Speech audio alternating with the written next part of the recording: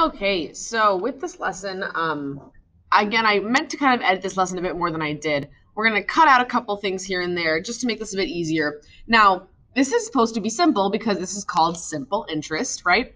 The formula, again, that we're going to be using is going to be I equals PRT. That's simple interest, right? And if you're looking at your formula sheet, you can see why. Excuse me you can see why when you compare it to the other formulas we're going to have to work with that are going to be for compound interest. We're going to learn that later.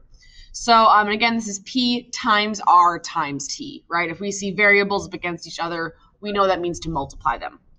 So um, let's go ahead and look at this um, example two, excuse me. We're going to skip example one. There's a reason I did this type of question where you're looking at interest rates um, as fractions. Sometimes um, you will see an interest rate as a fraction or just a percent in general as a fraction. And we just need to understand how to work with them. But it's really not a big deal. If that comes up, I'll help you guys out with it later. I want to skip that and go right into example two. So example two says, how much simple interest is earned on 4,000 in three and a half years at an interest rate of 5.2%? So as you guys are going through this unit, we're going to kind of keep tacking on formulas as we go. So you have to understand, okay, how do I know which formula I'm going to use? Now, obviously, we only know one formula right now, so you want to get out of that mindset. You want to get out of the mindset of, well, this is the only formula we've talked about, so boom, there it is. How we know is it goes blah, blah, blah, simple interest. Yeah. If it says simple interest, guaranteed you are using this formula and only this formula and nothing else.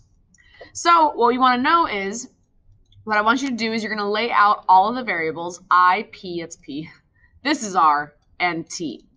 We tend to forget sometimes that I is a variable too. Just because I is on the left side of the equation doesn't mean that um, we can't know it. It's possible we know I and we're going to try and solve for one of the others.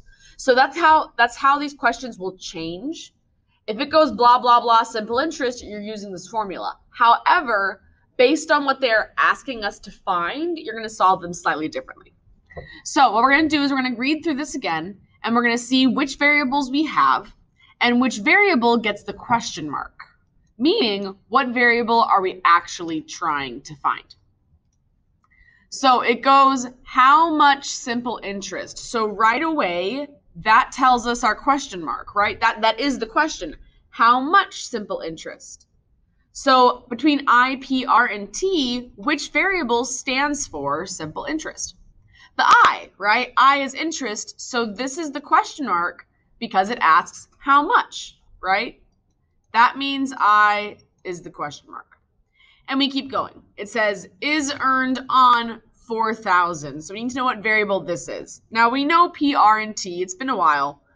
But we know principal is the starting amount. R is the interest rate, and T is the time in years. So when it says um, how much interest is earned on 4,000, this is the starting amount, right? If we are earning interest on that number, that's what we're starting with. So the 4,000 is the P even if they don't use the word principal, you have to use context clues to understand what is the starting amount. Context clues tells us that's the starting amount. And we have three and a half years. What variable is that? T, right? That's time. Now, be careful here. You're going to want to do um, do this as 3.5. Just because if you use three and a half, I can guarantee you're not going to plug it into the calculator, right? Because nobody ever does. So use 3.5 and not three and a half at an interest rate of, well, we've only got one variable left, but how should we write that? We're not going to put 5.2. What would that become? Well, 5.2 divided by 100, because it's a percent, is 0.052. So here's all our variables. So all we have to do from here, once we have our variables kind of laid out like this, is go to our formula and plug them in where we go. The variable that has the question mark stays put.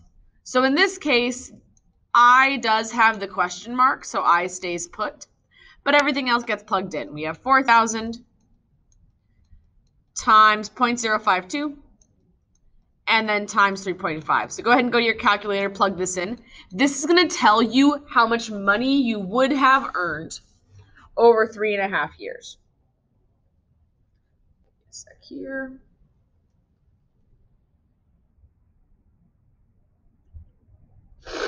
Okay, so over three and a half years, you would have earned $728 if I plugged that in correctly and looks like I did.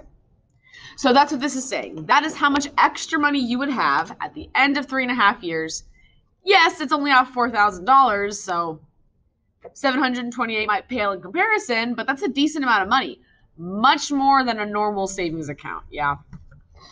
So that's how we're going to attack all of these problems. We're going to lay the variables out, IPRT. We're going to see which gets the question, gets the question mark, um, see what are the variables we have, and then solve. Now, again, if it if if we don't know what I is, everything is already by itself. It's easy and good to go. We're going to see some examples later where it's not that simple. But let's go ahead and try this again. Again, I'm going to have you try this question. It goes blah, blah, blah, blah, blah, simple interest, guaranteed. That's how you know you're using this formula, right? So remember, you want to lay out your variables. You want to see which gets the which gets the question mark based on the sentence. Ooh. Let me change this question to be um, how much simple interest. I'm keeping this easier.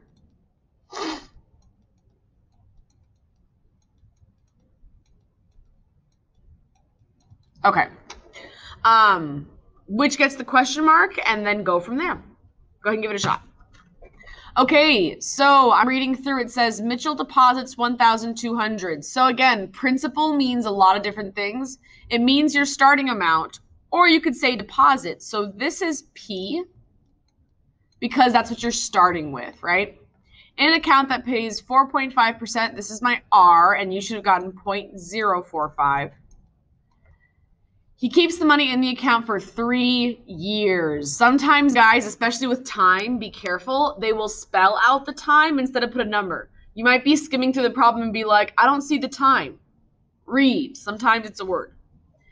And then, just based off of this, we can know that I is the question mark because I, I changed this to be how much simple interest is accrued after three years. How much simple interest? That means I is question mark.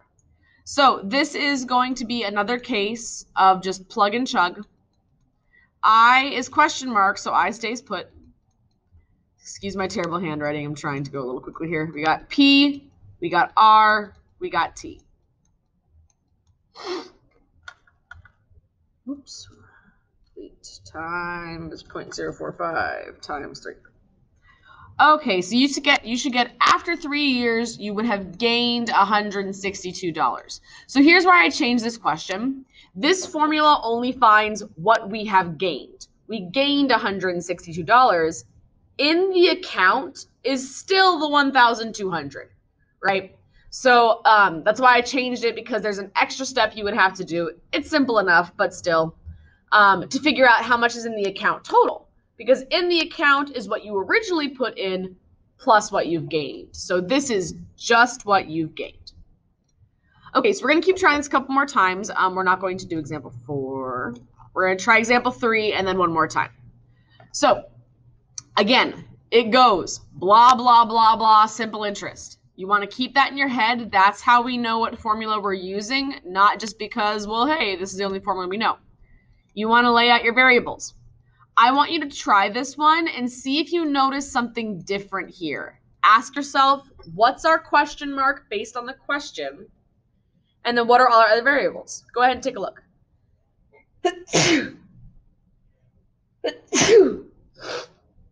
I have to cut out all my sneezes. Okay, so here's what we're going through. It says, how much principal? How much principal? That means P is the question mark. Yeah, so this is a little bit different now. So it's based on the question asking, right? They're asking. They're asking how much principal, that means P is the question mark. Must be deposited to earn a $1,000 simple interest. So We are earning a $1,000 simple interest. What variable is this then? That has to be I, right? So they're asking, what do I have to put into the account to reach this goal? I want to have a $1,000 interest earned. How much do I have to put in to reach that goal at? You should have been able to get these okay. That's T. 5% is 0.05. So again, the variable changes what gets the question mark. It's based on what they are asking, right? How much principal or what? That's the question mark. So we got to keep in mind then, because some people can go, oh yeah, I understand. It says how much principal, so that means P's question mark.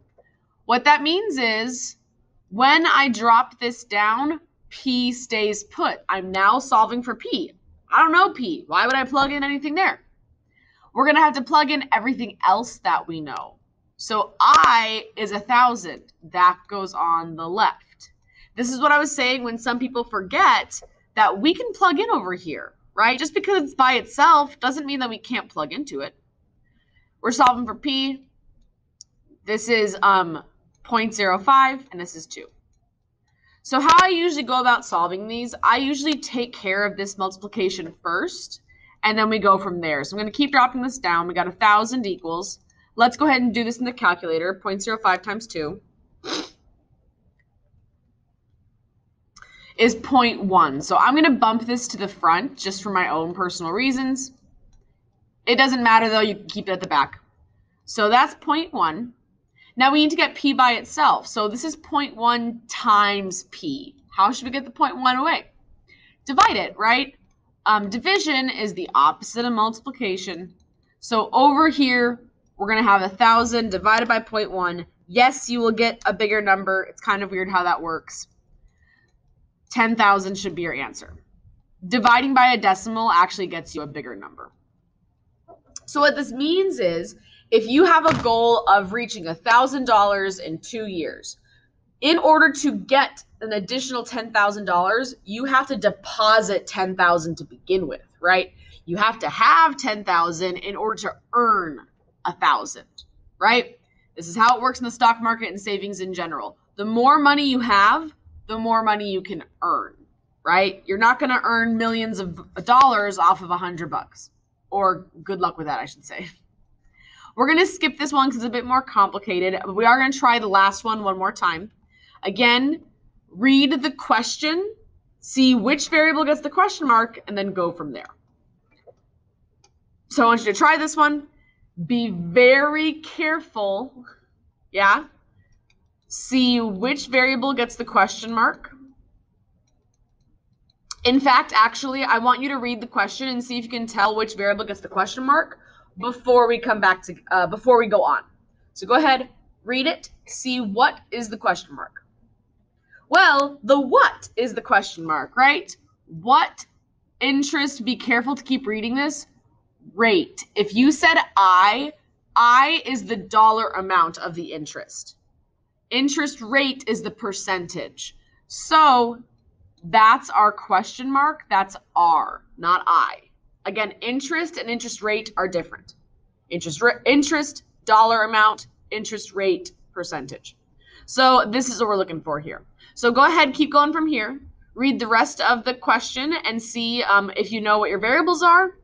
Plug it in to I equals PRT and then solve. Okay, so Alexis invests 5,000. Again, guys, you have to use, you have to know vocabulary, you have to know context clues. Yes, invests starts with I, but it's not I, right? That is the amount of money you're starting with. So 5,000 is actually your principal. You have to pick these questions apart and not just mindlessly, yep, yep, yep, good. Why not? Whatever you're starting with, that's P. In a simple interest account for, hey, 10 years, that's T. What interest rate must the account pay? So the simple interest gain. Simple interest gain, that's why this is I. Read very carefully, that's all I can say, yeah? Now we're going to go one by one and plug our stuff in. I is a 1,000. P is 5,000. I'm going to put this in parentheses to keep it all nice and organized. R is the question mark. So R stays put, and then T is 10. Now I know this looks weird, but I can just multiply these two together to get this simplified. So I have a thousand equals 5,000 times 10. Yeah, so that's 50,000. Hopefully you didn't need a calculator for that. And then I still have R. This is 50,000 times R. You should divide by 50,000, right? Do the opposite. Now what we're going to get here, because R is an interest rate, we're going to get a decimal, right? Anytime we're working with percents, they, they appear in our calculator as decimals. So you, so you should have gotten 0.02. Now, that's again the percent as a decimal. So what is this what is this as a percent? This is 2%. On your test and on your homework, I will ask for the answer as a percent. However, I can I'll go back and regrade it. If you leave it as 0.02, I can regrade it, but make it easier on me, please, and write your answer as a percent. So to sum up on your homework, again, what you have to do is you have to attack each question as if you've never seen it before. Don't go into a question going like, oh, it's going to be like this one. Um, tease the question mark. Sure, why not? Read it. Identify what is the question mark. Fill in the rest from there and then go to solve. Depending on what the question mark is, will change um, what you're doing to solve the problem.